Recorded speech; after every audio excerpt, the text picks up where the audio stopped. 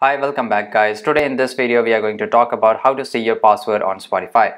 Why do you want to know how to see your password on Spotify? Well, maybe it's your first time and you don't know how to do it, right? So today I will show you how to see your password on Spotify easily. By the way guys, check the video description and I will try to leave the written instruction there. So we'll just go into this Spotify here and after that uh, on the top right side corner you can see the setting icon.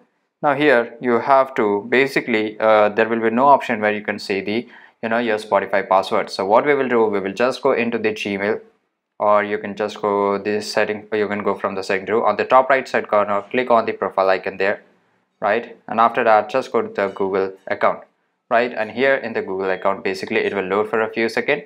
So you have to just wait patiently here. Now go to the uh, you know uh, data security and here you will scroll a little bit down and you will find option where the password will be seen here. So all the password manager. So basically here if you just click on there and here your password will be saved in your phone. So there you go guys if you want to know how to see your password on spotify this is the easiest way i know how. If you know any another way how to see your password on spotify leave a comment down below. Be sure to subscribe for more videos. Thanks for watching. Goodbye